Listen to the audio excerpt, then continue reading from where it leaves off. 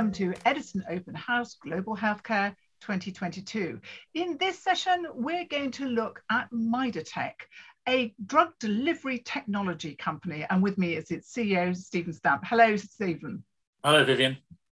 Now, drug delivery, we're not talking logistics here, we're doing bio delivery. So tell me, why do we need something like this? So biodelivery and biodistribution of medicines, which is what our technologies are focused on, is designed to deliver the right amount of drug to the right place in the body at the right time. Now you've got three different technology platforms, QSphera, MidaSolve and MidaCore. Can you tell me a little more about them and tell me why uh, they're different from other drug delivery solutions? Okay, well, QSphera is a microencapsulated uh, polymer-based uh, delivery system. Um, it's designed to be combined with a polymer and injected into the body to form a depot, which then disintegrates and, and bioresorbed over time. So that's a long-acting injectable. We can deliver drug uh, over a period of up to six months, and we can eliminate the peaks and troughs in uh, blood levels that you would normally see if you were taking, for example, a tablet every day or even twice a day.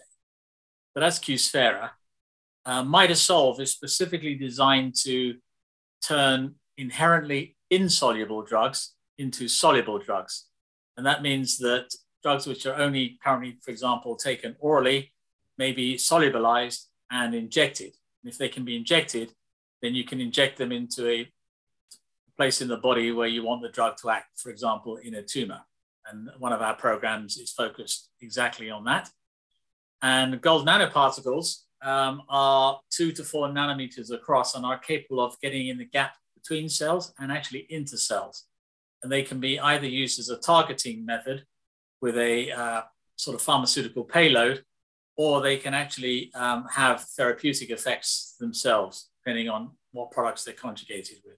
So another form of delivery and all of this is really important because you, uh, as we get more and more uh, drugs, particularly the biologics, there, you know, it's not enough just having the drug. You need to have the drug delivery system. But why are you better than others in this space? Well, our technology, for example, um, is we believe is superior to some of, at least, of the other technologies available because um, the unique manufacturing method that we have enables us to make a product which is it's called monodispersed. By that I mean all of the uh, microspheres are of the same size, uh, have the same drug content, and therefore degrade at the same rate in the body.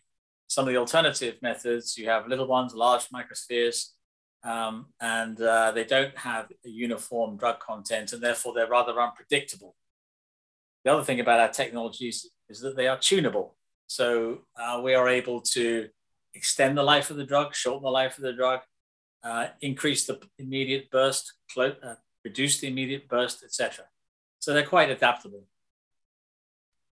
Now, QSphera, I know, is your near-term focus. Tell me a bit more about uh, the pipeline for it. Sure. So we have two internal programs. Um, one is focused on brexpiprazole, the long, uh, the, the last of the antipsychotic products not to be formulated in a long acting uh, formulation. Um, we think we have data which demonstrate that uh, we could manufacture a 90 day product. Um, that obviously brings patient convenience, uh, but most importantly, uh, patient compliance. One of the major issues with these antipsychotic products is that the, uh, the patients don't take the product. Of course, they don't take it, it's not working. So that's one of the advantages there. Our second product is a uh, version of tacrolimus. So tacrolimus is a drug used in anti-transplant rejection, and it has a rather narrow therapeutic window. So what I mean by that is if you underdose the product, uh, you get transplant rejection, overdose the product, and you get excessive immune suppression. Both of those can have very negative outcomes, of course, for the patient and the health system. So what we think we can do is we can deliver consistent blood levels over extended periods and remove those peaks and troughs. Uh, there's also a question about food interaction, which you get when you take the product orally. Uh, of course, if you're injecting, you don't have that problem. So those are our two internal programs. And then we're working with a partner on their APIs uh, to uh, deliver proof of concept. We're not allowed to disclose the partner, unfortunately, or the APIs because they're proprietary. But the idea would be that they would be uh, delivered uh, to a specific site in the body uh, using our QSphera technology. And then lastly, we are working on um, monoclonal antibodies. So this is a world's first. Um, nobody, in our uh, opinion anyway, has been able to develop a long-acting version of an antibody because the molecules are very large and susceptible to being denatured. And our manufacturing system is relatively benign. And we've been able to demonstrate that we can develop these products in a long-acting injectable without denaturing the product. That what makes that's what makes us a little bit different and maybe a little bit special. And actually, your technologies give new life to some medicines, new indications because of the, what you are able to do for those particular medicines.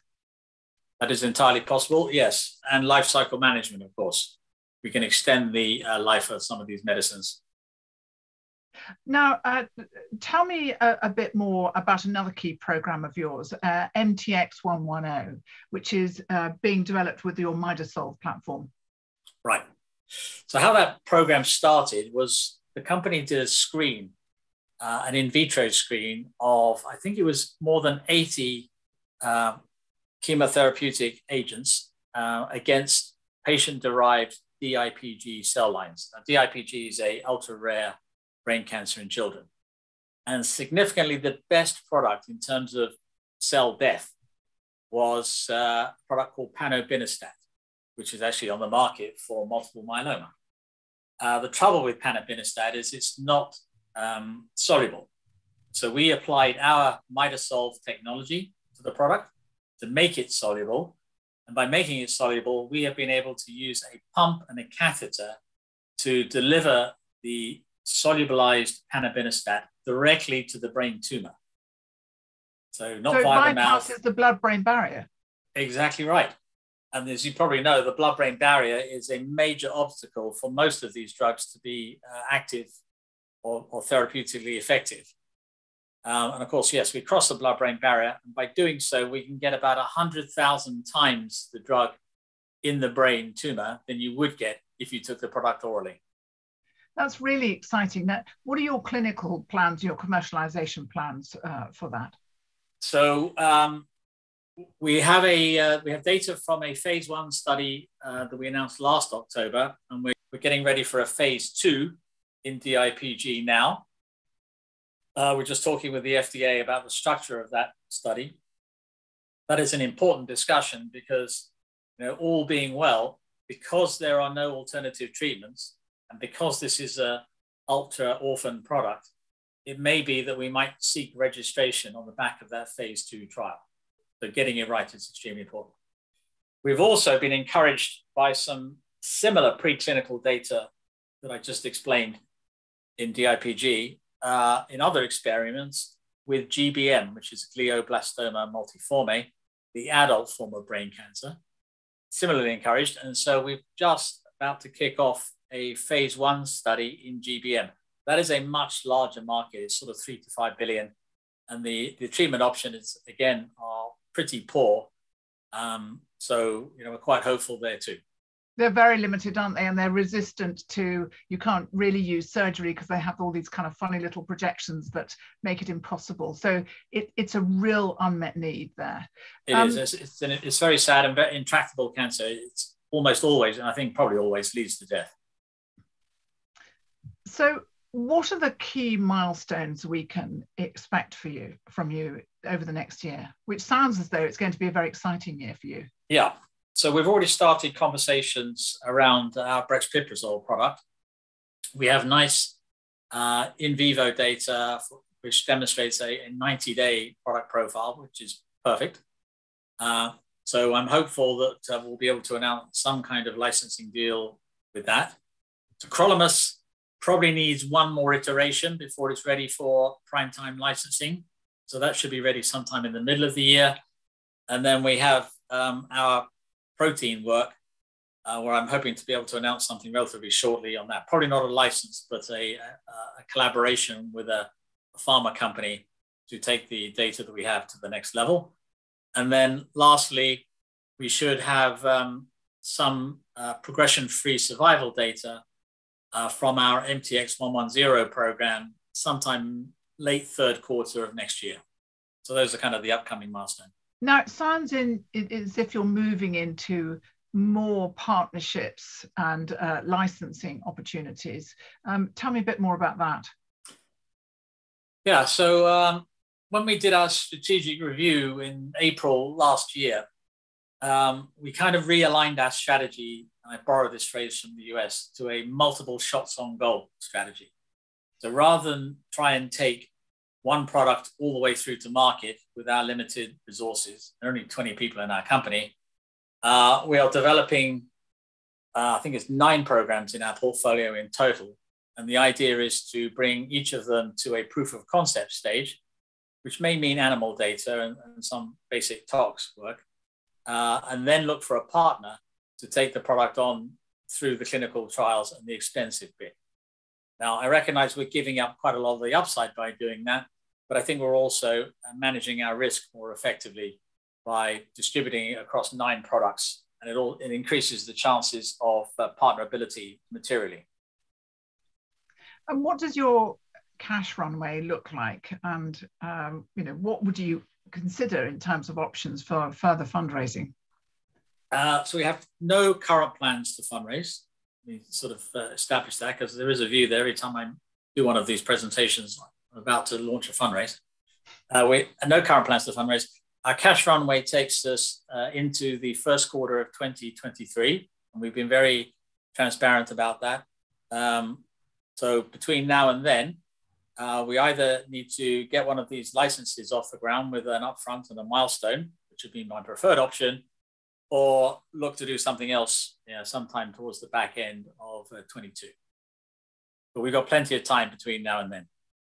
Well, I wish you every success with that and really some very exciting developments for you, uh, particularly in relation to brain cancer. Thank you so much for talking to us, Stephen. Thank you, Vivian.